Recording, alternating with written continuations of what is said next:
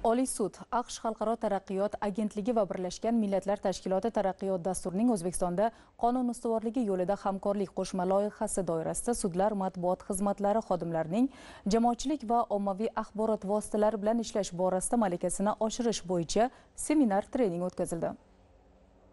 Treningdan ko'zlangan maqsad amaldagi qonunchilik asosida ommaviy axborot vositalari bilan ishlashning samarali tizimini shakllantirish, xususan sudlov mohiyatini ochib berishga qaratilgan, qolaversa tanqidiy ruhdagi materiallar bo'yicha jurnalistlar va aholi o'rtasida amaliy muloqot o'rnatishdan iborat. Seminar jarayonida piar copywriting, kontent shakllantirish hamda ommaviy axborot vositalari vakillari uchun tadbirlar tashkil etishning muhim jihatlari ko'rib chiqildi va tahlil qilindi. Bugun keng tarqalib yotirgan sotsial tarmoqlar, e, veb-saytlarda materiallarni joylashtirish ulama sud органларының позициясы